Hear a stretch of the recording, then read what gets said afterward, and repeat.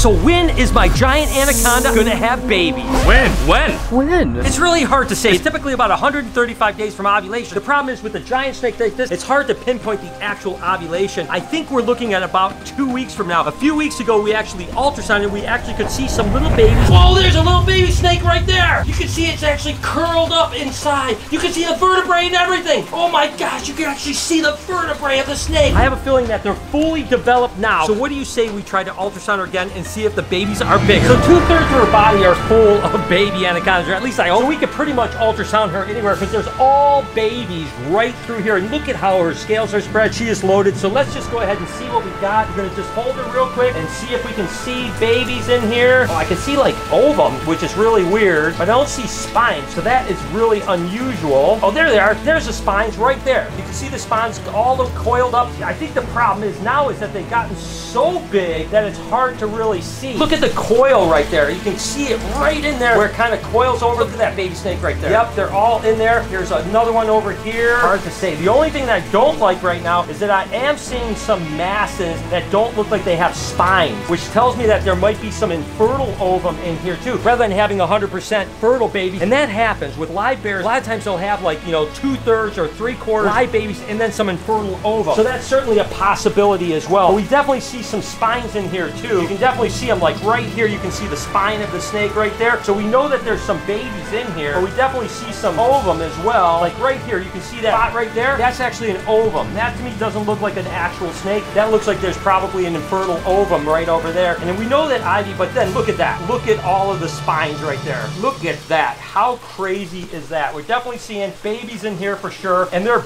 big already.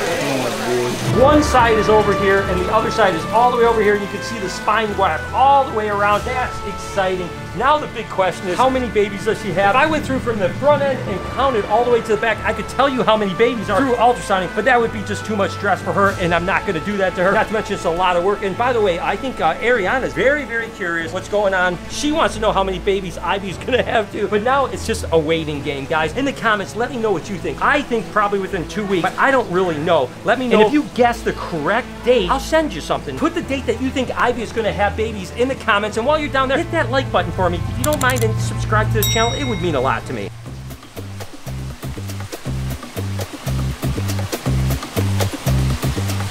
Mike, what do you think this button does? No idea.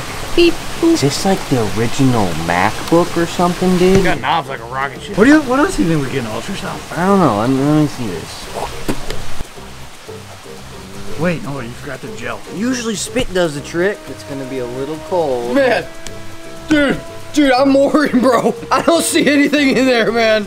Oh wait. Oh, No, dude, you see that? I did see it. Well, I got gel going on, but I see it. Whoa! What? That's a tumor. Wait, wait a minute. What is this? I'm in your eyeball.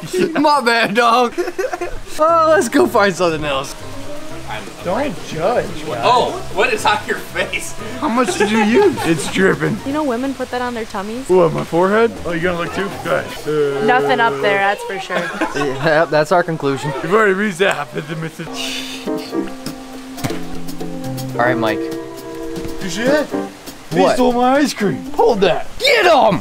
Get back! Never do that again! Got him. You know, I still get time to spend with Jazz and Ariana, but it really stinks that it's been a while since I've been able to interact with Ivy. With any consistency, I used to be able to take her out all the time. And you guys know she was my spirit animal. I mean, I love her. And she's such an amazing animal. Just getting an opportunity to play with her, just see how amazing and inquisitive she is. She always would come right up to me. Well, once she's been pregnant, obviously we haven't been able to really mess with her. We want to leave her alone as much as possible because we don't want to mess with her baby. So it's definitely been hard over the last few months not being able to muck with her at all because she is such an amazing animal. Don't get me wrong, Jazz is amazing, Ariana is amazing, but there's something special about Ivy. So I can't wait till not only I get all those babies, which I'm super excited about, but also get the time that I can spend with her again after she's done and gotten a few meals into her and getting back to the old interaction. Not only excited about babies, but also I've been missing my girl Ivy. We have to take this bad boy to the street. Ten steps ahead of you. You're what? Ten steps ahead of you.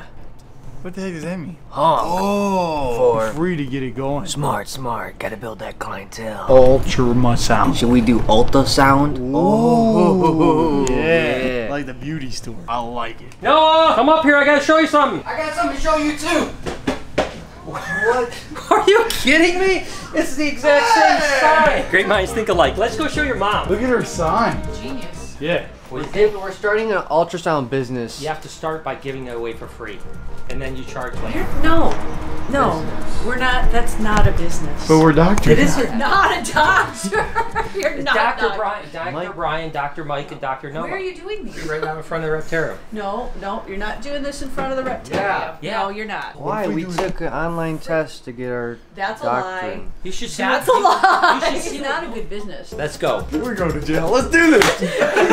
Speaking about excited about babies, it's really amazing that this is year number two for Diddy and Dixie. Last year she was gravid and she actually messed up her eggs because we had a kind of smaller nest box. What ended up happening was she poked them with these really sharp nails and most of the eggs actually had punctures and none of them had. Well, this year we're gonna do something completely different and make a gigantic nest box in with her. She laid August 8th of last year and she is loading up with eggs right now. You can see her plumping up like you can't believe. So she's definitely gonna be ready. I have a feeling she's gonna lay before August 8th this year. So probably in two weeks or so in the beginning of July, we're gonna go ahead and make that big nest box. Literally about a quarter of her cage. It's gonna be about a foot and a half to two foot deep of soil so she can dig in there and have her eggs this year. Could you imagine little baby Dixies and Diddy? That would be absolutely incredible. Like I said, it was super cool to get eggs last year, but I was definitely disappointed we didn't hatch. them. Definitely have some really cool animals that we're gonna have babies with this year.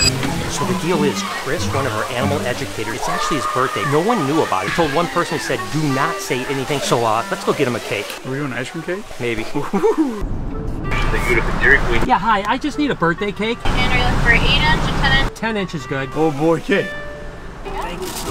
So the difference between egg-laying snakes and live-bearing snakes isn't as different as you actually think. This is actually an albino ball python here that actually was bred to an albino pie. Looks like she's got a few bad eggs in her. She's got a couple eggs kind of rolled all over place trying to get mama off over here, but the majority of the clutch looks pretty good. A live-bearing snake actually will kind of have an egg inside her that's got a membrane around it. And so she's actually gestating the eggs internally. So when we pull these eggs and put them in the incubator, basically what mama is doing is doing the exact same thing but in her belly, right? So that's basically the only difference between the animals that actually will lay eggs and the live bearing animals. Same amount of time from the time of ovulation to hatching on an egg clutch as compared to the same amount of ovulation to when an adult snake has live young. So this girl ended up having two, four, six, eight good eggs, three little sluggers. All these are gonna be albino because both were albino and they're gonna be het for pie. Ultrasounds, free ultrasounds. Honk for some free ultrasound. Oh, honk for me! What semi doesn't honk for someone doing it? That guy looked mad. Oh, he covered it. He had his hand on his thing and then he read it and he was like, no. Honk it, honk it, honk it. I'm telling you, the grill market is working. We just gotta stand out here for like 27 hours and we'll be rich. It'll be dark. Honk for free ultrasound! Honka, honka, Honk for free ultrasound! What are you guys doing? You want a free ultrasound? I think we just got our first customer. I mean, Yeah! Where the hell did you get that donut? This happens to be a pastel ghost female. She's bred to a ghost champagne, which is called a mimosa. And basically, why would live bearers be any different than egg layers? Like, what is the difference between the two of them? And typically, what ends up happening is that egg layers are oftentimes in areas where eggs won't get killed by other things. I mean, certainly there's a lot of attrition in the wild with, you know, things eating it and so on like that. But the harsher the climate, or the harder chances that eggs have to hatch in the wild, the more likely that a female is going to internally gestate. So basically, you have it. Now, don't get me wrong, it's not always that way, because oftentimes you'll have egg layers and live bearers in the same geographical range. But that's typically how Mother Nature works, right? It wants the best chance for the babies. If the best chance is to gestate, then they have live bearers. If the best chance is to egg lay, then they egg lay. We've got two, four, six, eight, nine gorgeous eggs. well, it all started when I was born. This is not that kind of therapy. There you go. And that is his tummy. Jake, this might be a little cold. It's still free, right? That's what we have to remove afterwards. All right, ready? Re- remove? Let's get it all nice and slobber gobbery. Fill up that whole circle there. I Wasn't in the test. I'm starting to get a feeling that you're not licensed. Uh, yeah. d- What makes you say that? That right there. That's a baby. Is that a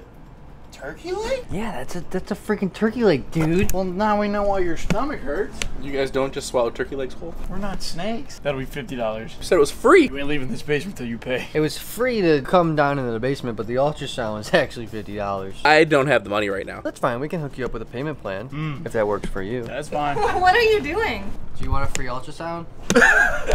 No. Is this permanent? So basically what I mean is you think about an anaconda, right? It actually comes from the Amazon basin, right? It's gonna live in water. That Amazon basin floods all the time, which by the way, this is a pastel female. Ooh, she's got a few slugs in here, but she does have some good eggs too, so that's okay. Bred to a pewter P lesser bongo, absolute ripper of an animal. There should be some really good stuff, but you figure there's probably not a good chance of survival if an anaconda had a clutch of eggs and laid it because of floods and moisture and predation and stuff like that. So Mother Nature basically says now internally incubate those eggs and they'll hatch basically inside you in this membrane. And then after they hatch, they end up getting rid of them, right? And that's live birth, which is pretty cool. There's two, four, five good eggs, three slugs, not too bad. I hope you guys understand live birth compared to egg laying now. Hey, Chris. Oh, happy birthday to you. Blow the candles. Got the candles. It's ice cream. Wow, third time's the charm. Perfect. Look at that. It's not working. Happy birthday, Rotor. I am so excited for Ivy's babies to come out. Again, down in the comments, let me know what your best date is. If you win, I'll reach out to you and send you something. It's gonna be amazing when these babies are out and about. And speaking of out, hope you guys enjoyed today's video. If you did, there's a playlist that you can watch all kinds of videos. You can also hit that subscription button. It would mean a lot to me. Also, hit that like button while you're down there. Have a wonderful day, Reptile Army. Remember, you call one of those uh, uh, intermissions where you like, well, that's not what it's called. What is it?